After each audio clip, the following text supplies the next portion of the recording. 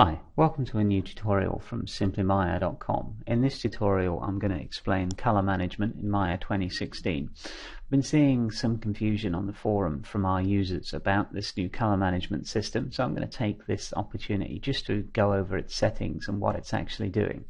Now, by default, Maya 2016 will have color management armed.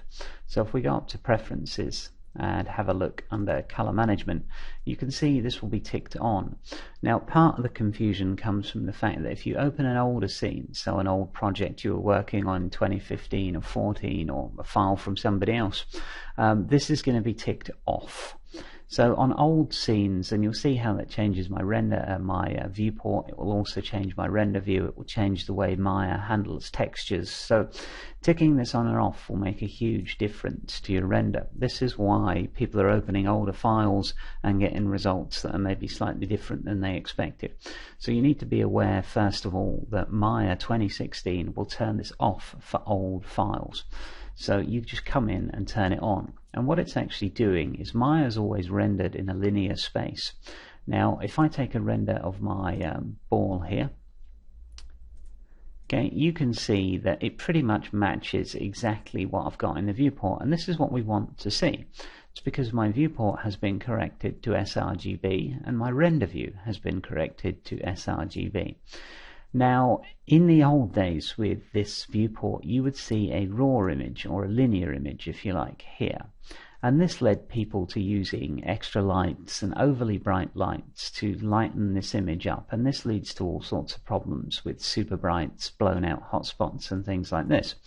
So the old way was to put a lens shader on the camera, some sort of simple exposure node, to gamma correct this view. So basically you can now do that just by coming up and hitting sRGB up here. So that lens shader is no longer strictly necessary for you. It's no longer also necessary to correct your textures with a gamma node when you've got this. Now this leads to another point of confusion because this image here is not what you're going to save. If I just come up here and go save image now and we save this as a test JPEG, let's say, and then I open that test JPEG in Photoshop you'll see I've actually saved the raw image. Now, if you just want to save a, uh, a quick snap, a test render or whatnot to email to a friend or you know show a colleague, you can change the settings on this to save a color managed image.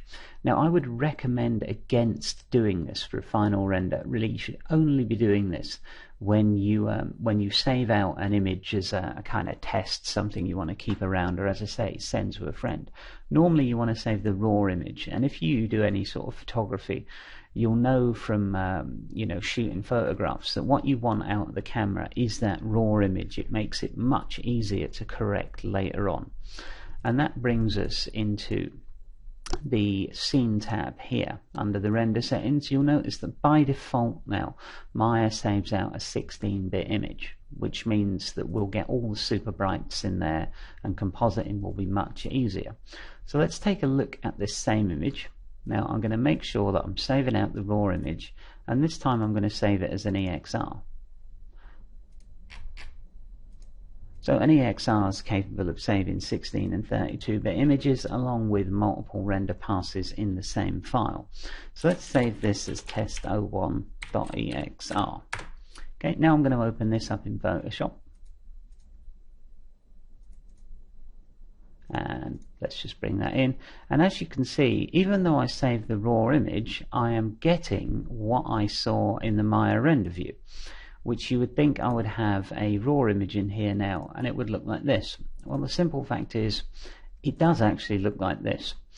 Photoshop reads this in as a 32-bit image, not 16-bit image it actually is, but Photoshop sees it as a 32-bit. And then it assumes that it's a linear image, so it corrects it accordingly. Now, if I go up to HDR toning here, you'll see because we've got this um, linear image we can go to uh, let's just say exposure and gamma and I can always correct this downwards to be what we saw here but the simple fact of the matter is what we want is this raw image and we want Photoshop to auto correct this or nuke or whatever. It's reading in linear and showing us one with sRGB mapped on the top. You'll notice that a JPEG does not do this because it's read as an 8-bit image, so therefore Photoshop will assume that it's already been gamma corrected, so it won't apply any kind of correction to it.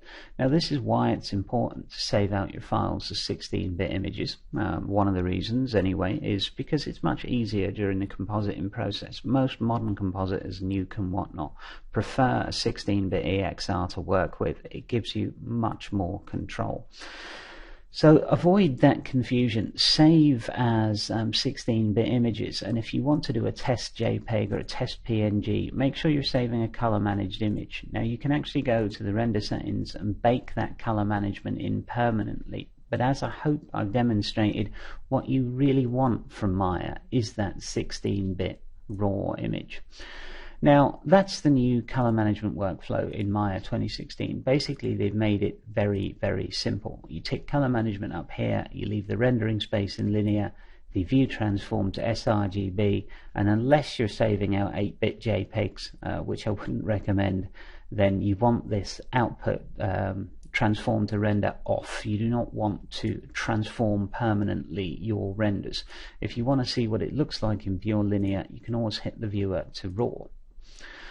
So that's the new way of doing it. I'm going to have a quick run through the old way of doing it simply to show you the difference and you know for people that have older scene files I just want to run through what we used to do to show again how much simpler this has got. So in previous versions let's come in and turn the color management off completely.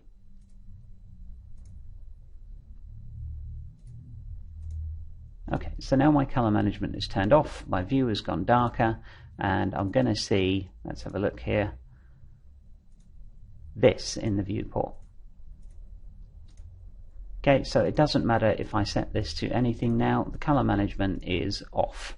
So I'm getting this, which is fairly similar to the raw image that was produced, which is exactly the same, sorry, as the raw image that was produced when the color management was on. So back in the olden days, we would use a workflow that went something like this.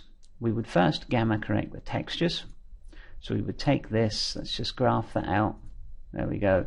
And we've got a Mila material here with a diffuse reflection. So we would start by breaking the connection between the out color of the texture and the Mila material. We would then add a gamma correct node. And out of here into here and then out of here into the color of the Mila material or whatever material you were using. We would then correct the texture downwards to take the gamma off it. Okay, so that would be the first step, and you would have to do this with every diffuse texture that you had. So every texture that was going to have a color in the render view, you would have to do that. Then what you would do is apply a lens shader to the camera. So mental ray and lens shader so let's see lenses uh, and let's use a exposure simple. This would then gamma correct the whole thing to the correct gamma and you could then render and see that light grey background and the ball exactly as it was. So you know if you're using the old workflow none of these color management settings are actually important and when we save this out now here's the problem with the old way when we save this out we're going to save that raw image and we're going to save it as a JPEG so test save 02 and open that up. Okay, and you see here I've definitely got a gamma corrected image even though I'm an 8-bit JPEG. So in previous versions of Maya, to jump through all the hoops, to get the render view to look like you wanted it to do, you had to gamma correct your textures and then you had to apply a lens shader to the camera. However, in order to avoid saving out a color mapped image in older versions when you were ready to your final render, you had to go and break the connection to your lens shader.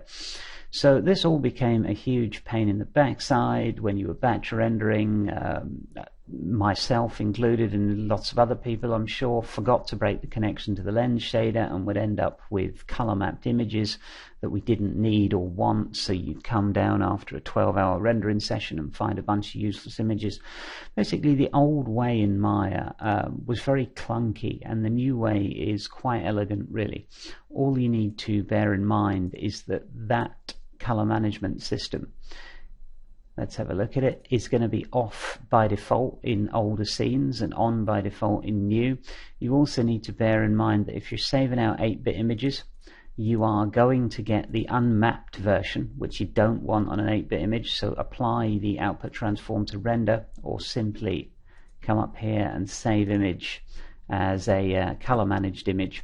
If you're doing a uh, files for a composite, you've got 16-bit EXRs, then you can pretty much leave everything at default.